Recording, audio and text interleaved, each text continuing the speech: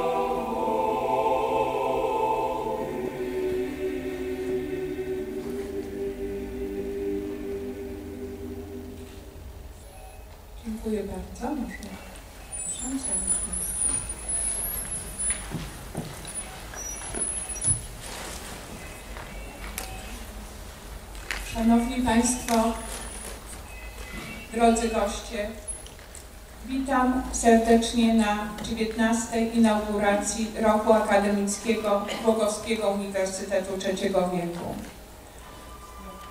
Pozwólcie Państwo, że przywitam naszych dostojnych gości przybyłych na naszą uroczystość. Witam serdecznie Pana Prezydenta Miasta Głogowa, Rafaela Rokaszewicza. Witam serdecznie członka Zarządu Powiatu Głogowskiego, Pana Bartosza Ławrowskiego. Witam prorektora Wyższej Szkoły Medycznej w Legnicy, pana doktora Włodzimierza Olszewskiego.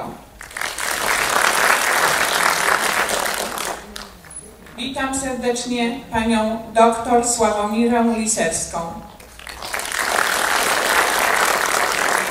Witam ojca Łukasza Wójcika, proboszcza parafii pod wezwaniem świętego Klemesa i naszego opiekuna duchowego.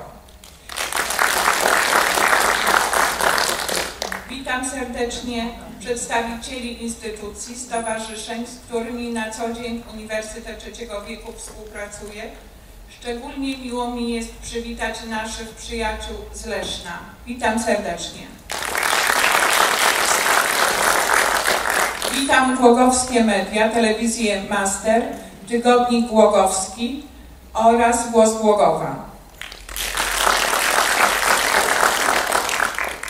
Miło mi powitać wykładowców, ale przede wszystkim Was, drodzy słuchacze, którzy po pięciu miesiącach e, uczestniczycie w tej inauguracji. Cieszę się bardzo, że tak licznie przybyliście, że w tej nowej, e, innej rzeczywistości odnajdujecie się. Oczywiście bardzo, ale to bardzo troszczymy się o Wasze zdrowie, ale też i wiemy, że nie chcecie e, pozostawać w domu. My wychodzimy naprzeciw Waszym oczekiwaniom. Bez Was nie ma uniwersytetu. Bardzo Was gorąco witam.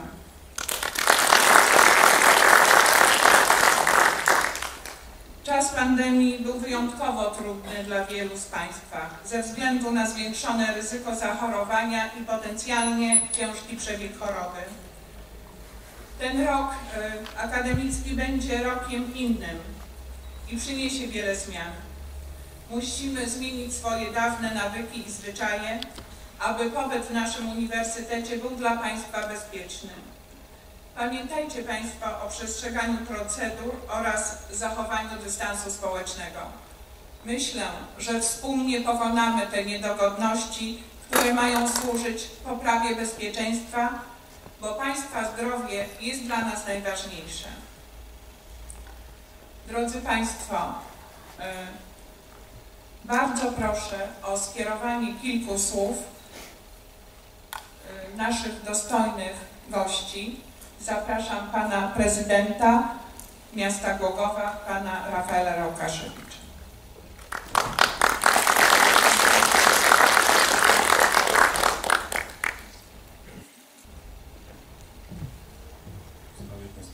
jest ładniejszy ode mnie.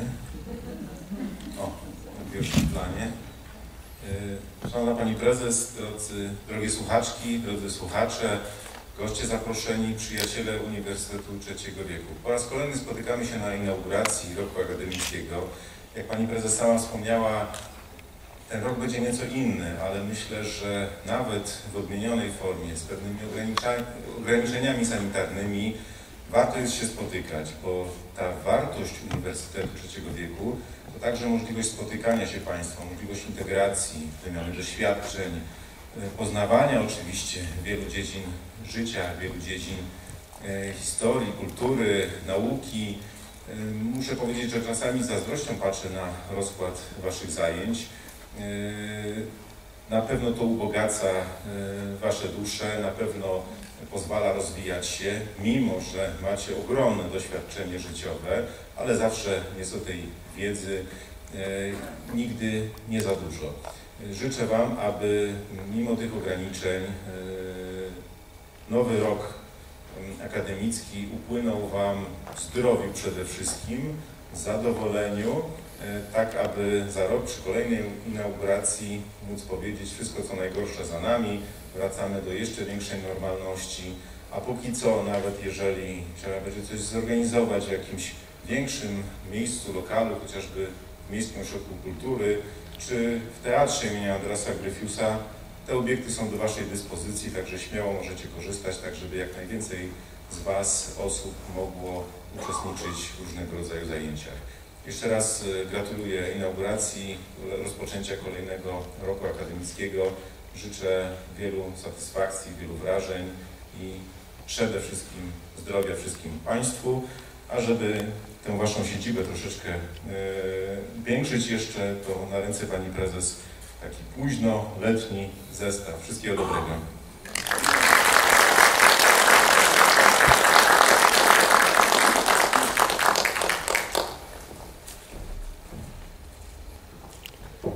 zabranie głosu poproszę pana Bartosza Ławrowskiego, członka zarządu powiatu kugowskiego.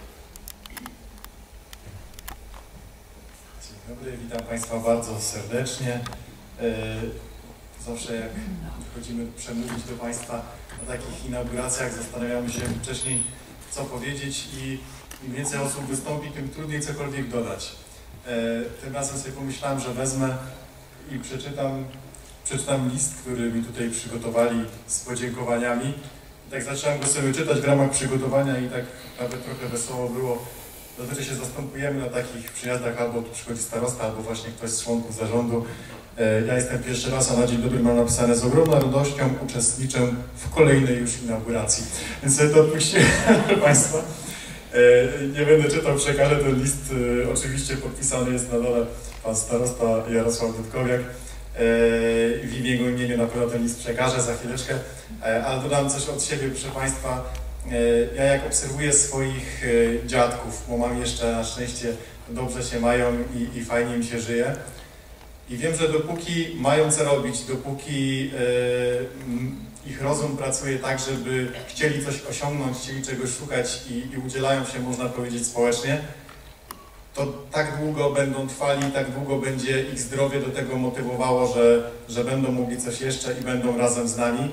E, tego zdrowia, szczególnie w tych czasach covidowskich, Państwu bardzo serdecznie e, życzę i cieszę się, że jesteście tak zmotywowani do mm, pracy umysłowej i do poszerzania swojej wiedzy. Dziękuję bardzo, gratuluję Państwu bardzo serdecznie.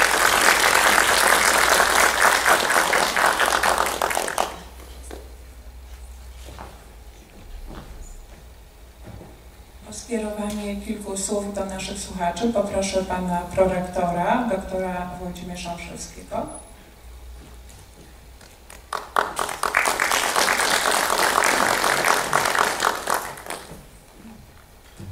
Dziękuję ślicznie. Ja w przeciwieństwie do mojego poprzedniego mogę powiedzieć, że faktycznie z dużą radością uczestniczę w kolejnej inauguracji i cieszę się, że mogę z Państwem się spotykać. E, w naszym zaprzyjaźnionym Uniwersytecie Trzeciego Wieku w Głogowie. Szanowni Państwo, będę dzisiaj mówił, e, bo mam, tak się składa, że mam wykład inauguracyjny, za co już w tej chwili mogę serdecznie podziękować Pani Prezes. Będę mówił o erze długowieczności. Będę mówił o przemianach, które zachodzą naszym, na naszych oczach, o tworzącym się nowym społeczeństwie, z nowymi strukturami, z nowymi schematami, ale korzystając z tego, będę chciał w tym momencie przynajmniej życzyć Państwu, abyście jak najwięcej czerpali z wiedzy i mądrości, którą Uniwersytet Trzeciego Wieku niesie ze sobą. Chcę powiedzieć, że jest to niezmiernie ważny element e, tego e, długiego życia e, w dobrostanie i będę to naukowo w pewnym momencie dzisiaj udowadniał, że im wyżej się wespniecie, a więc im więcej wiedzy posiądziecie, tym wolniej będą zachodziły pewne procesy starzenia się u, nas. Będę również zwracał uwagę na bardzo ważny element zdrowia psychicznego, o którym się jeszcze stosunkowo mało mówi, a który jest jednym z kluczowych elementów tego życia y, w dobrostanie.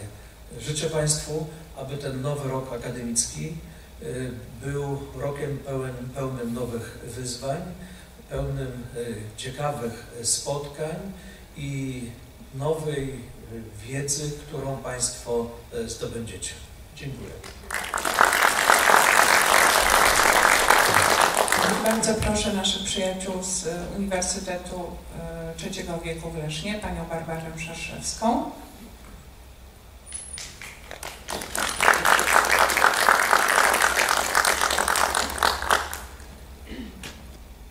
Witam bardzo serdecznie wszystkich, którzy chcieli w dzisiejszym dniu przyjść na nową inaugurację nowego roku akademickiego. W imieniu naszego zarządu oraz naszych słuchaczy składamy Wam wspaniałe gratulacje za to, że w tym trudnym okresie pandemii y, jesteście chyba jednym z pierwszych uniwersytetów, którzy y, dzisiaj zasiadacie E, w fotelach na swojej inauguracji. E, również życzymy Wam przede wszystkim dużo zdrowia, zapału, radości, pogłębienia wiedzy, spotkania, integracji, bo to jest bardzo ważne. No i troszkę, mm, troszkę y, chodzenia y, na sportowe zajęcia, bo to jest też kondycja fizyczna w naszym wieku również bardzo ważna. Jeszcze raz gratulujemy otwarcia nowego roku akademickiego.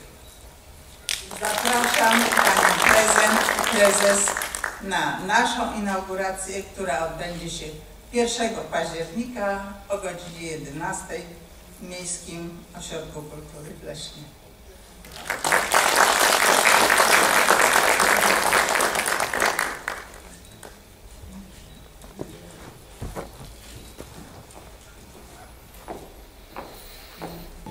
Szanowni Państwo, z tego co się orientuję, e, jesteśmy jednym z pierwszych uniwersytetów na Dolnym Śląsku, który otworzył się e, na wykłady otwarte, niehybrydowe, niezdalne, e, ale to też jest spowodowane zgodą tutaj wojewody, decyzją wojewody dolnośląskiego.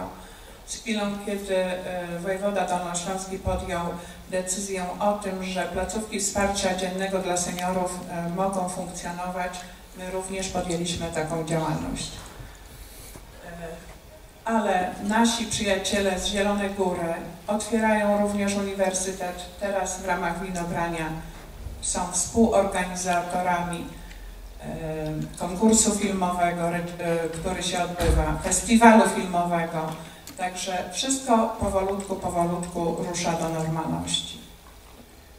Szanowni Państwo, my rozpoczynamy 19 rok akademicki, ale tak naprawdę w lutym mm, wypada 20-lecie powstania Głogowskiego Uniwersytetu Trzeciego Wieku. Więc ten rok będzie takim rokiem wyjątkowym. Będziemy przygotowywać się do jubileuszu, który planujemy w czerwcu, na początku, pierwszym tygodniu czerwca w teatrze naszym z występem grupy teatralnej. Trwają już rozmowy dotyczące jak będzie wyglądała ta, ten jubileusz, jak będzie wyglądała grupa, która powstanie. Zatrudnimy oczywiście samych profesjonalistów w ramach, to działanie będzie realizowane w ramach projektu unijnego zatrudnimy choreografa, e, kostiumologa, teatrologa. Także mam nadzieję, że spotkamy się również w czerwcu na jubileuszu i e, będzie się działo. Drodzy Państwo, głównym celem Uniwersytetów Trzeciego Wieku jest działalność edukacyjna, integracyjna, aktywizacja osób starszych w celu e, lepszego funkcjonowania, e, Podstawowym celem naszego uniwersytetu jest ustawiczne kształcenie na poziomie akademickim i staramy się przez te 20 lat kontynuować e, w ten sposób te wykłady. Zatrudniamy wykładowców właściwie z całej Polski. E, przyjeżdżają do nas, e, przyjeżdża do nas kadra profesorska z Poznania, z Zielonej Góry, z Warszawy, z Krakowa. E, mam nadzieję, że w tym roku również będziemy się tutaj e, podpierać właściwie e, tymi wykładowcami z całej Polski. W tym roku przygotowaliśmy troszeczkę inne wykłady. Będzie więcej wykładów z psychologii, z literatury, będą warsztaty psychologiczne. Staramy się wyjść naprzeciw oczekiwaniom Państwa tutaj te pięć miesięcy nieobecności, zamknięcia seniorów w domu źle troszeczkę podziałało na, na seniorów. Staliście, część osób, bo mamy takie sygnały od Państwa, boi się, ma zaburzony nastrój. Do tego dołączyła apatia, a skończy się to tym, że zaraz zamiast koronawirusa zachorujemy na jakieś stany depresyjne, a tego byśmy nie chcieli. Stąd też, drodzy Państwo, korzystajcie, bo przez całe wakacje udzielaliśmy wsparcia psychologicznego tym osobom samotnie zamieszkującym e, w Głogowie i osamotnionym. Proszę się nie wstydzić, naprawdę rozmowa z psychologiem bardzo pomaga e, i jest, jest tak to zorganizowane, że wtedy, kiedy tylko Państwo potrzebujecie, pod telefonem mamy psychologa i bardzo zachęcam do korzystania z tego. Drodzy Państwo, w ubiegłym roku pracowaliśmy w 14 grupach zainteresowań. Część tych zajęć zostało przerwanych w marcu. E, w związku z tym, że uczestniczymy w różnych konkursach i dotacjach, my musimy te e, zadania projektowe e, realizować. W chwili obecnej realizujemy duży projekt unijny, w ramach którego odbywają się konkursy, kursy, szkolenia, staże zawodowe i cieszę się, że część z Państwa tutaj za, mm, za udziałem też i wsparciem doradcy zawodowego przekwalifikowało się, zdobyły, zdobyło nowe, nowy zawód terapeutów, pilotów turystycznych. Myślę, że e, jest okazja do tego, żeby nawet móc sobie dopracować jeszcze na emeryturze. Na co dzień współpracujemy z placówkami kulturalnymi zaprzyjaźnionymi uniwersytet, uniwersytetami z ościennych miast. z Zielonej Góry, z Leszna, z Wrocławia. E, Współpracujemy również z Instytutem Ekonomii Społecznej. Przez cały ten czas współtworzyliśmy i tworzymy gazetę senioralną Senior DGL. Większość zespołu redakcyjnego stanowią nasi słuchacze. Są jej twórcami i autorami tekstów, a tematyka poruszana w tej gazecie jest szeroka, tak by zainteresować nią jak najszersze grono odbiorców. Nasze zajęcia prowadzą nauczyciele akademicy, lektorzy języków obcych, rehabilitanci, instruktorzy i trenerzy. W, w bieżącym roku akademickim e, przygotowaliśmy również dla Państwa e, zajęcia w ramach grup usprawniająco-ruchowych, jogi oraz szczęśliwego mózgu. Odbywać się będą zajęcia teatralne, jeżeli zdeklarujecie się Państwo w dalszym ciągu zajęcia filmowe, zajęcia e, fotograficzne, artystyczne.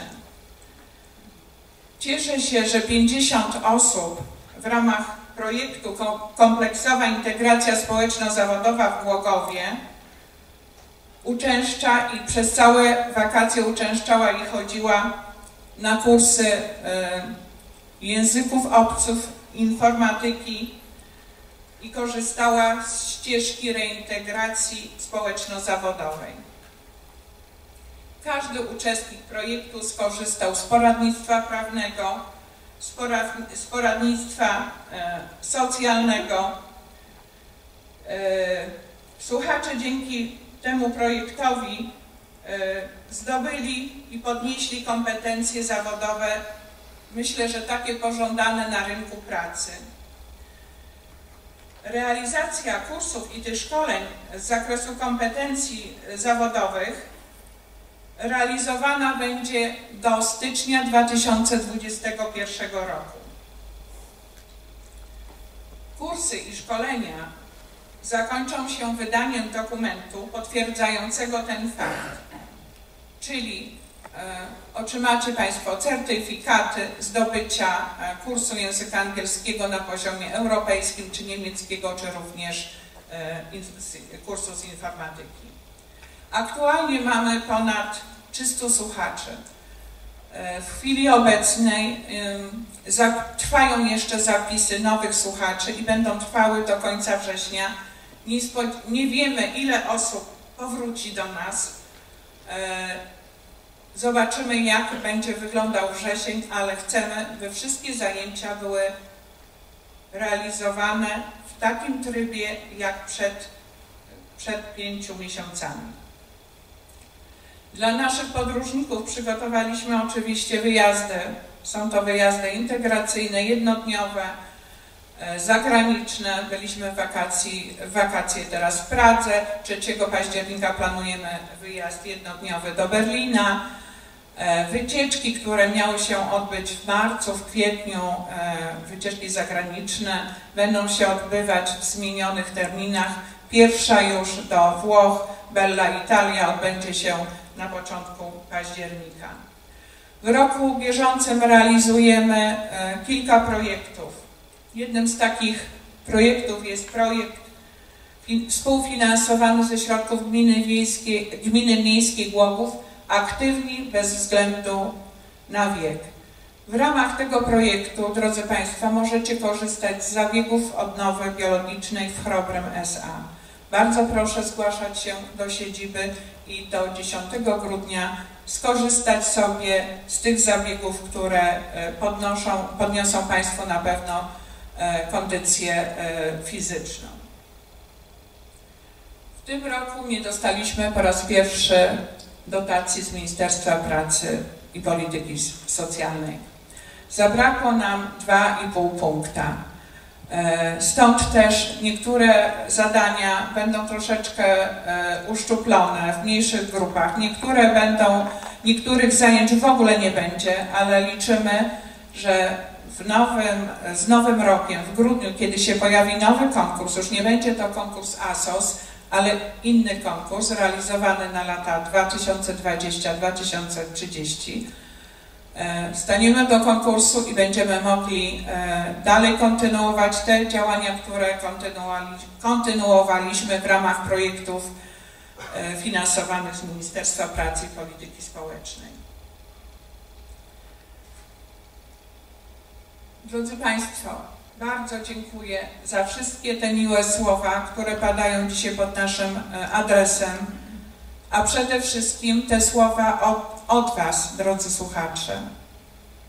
E, Jest nam bardzo miło, nie zdawaliśmy może sobie nawet tak sprawy, że jesteśmy e, tak ważnym stowarzyszeniem, że brakowało Państwu tych zajęć, tych spotkań naszych, nam również brakowało, proszę mi wierzyć. Bez Was nie ma uniwersytetu. I bardzo się cieszę, że tutaj tak licznie dzisiaj jesteście. Brawo dla Was.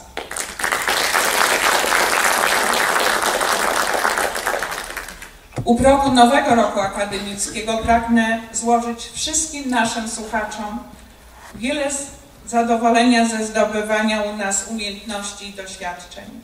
Niech czas spełniony na zajęciach będzie wypełniony nie tylko inspirującą pracą i pogłębianiem wiedzy, ale przyniesie także wiele radości oraz stanie się okazją do zawierania nowych znajomości, nowych przyjaźni.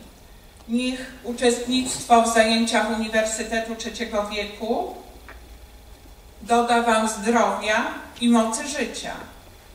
Moc życia to metafora od startującego samolotu, który, aby wzlecieć, musi rozwinąć pełną moc silników. Mam nadzieję, że dzięki naszemu uniwersytetowi zniesiecie się Państwo ciut wyżej, zarówno w sferze emocjonalnej, jak i intelektualnej. Serdeczne słowa podziękowania kieruję do zarządu Głogowskiego Uniwersytetu Trzeciego Wieku. Dziękuję Wam, kochani, za pracę społeczną przez wakacje. Życzę Wam wytrwałości w wielkiej pracy społecznej dla Głogowskiego Uniwersytetu Trzeciego Wieku.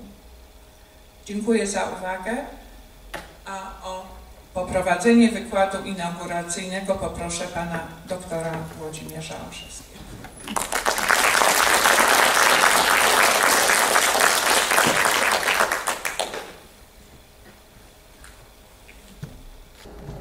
Szanowni Państwo, witam jeszcze raz bardzo serdecznie.